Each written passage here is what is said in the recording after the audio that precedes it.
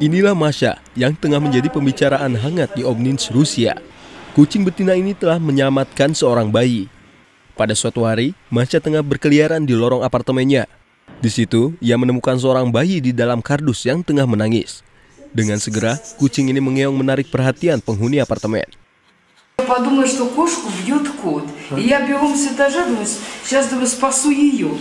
Когда я спустилась и вижу, что дед, дитё плачет.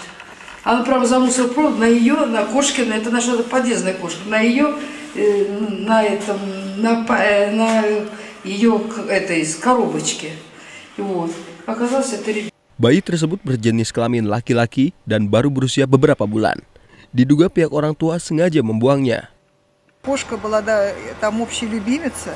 И очень большой участие, кстати, кошка принимала, потому что она так переживала, куда мы понесли этого ребенка. Она прям за нами бежала, мякала. То есть она, в общем-то, такое тоже разумное существо. Bayi mungil ini ditemukan dengan sejumlah barang perlengkapan miliknya, diantaranya baju, popok, dan botol susu.